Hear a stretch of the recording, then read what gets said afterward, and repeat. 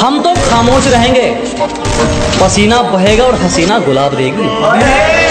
अजी, हम तो खामोश रहेंगे। पसीना बहेगा और हसीना गुलाब देगी। और जलने वालों सवाल तैयार रखो। अब हम नहीं, हमारी तरक्की जवाब देगी।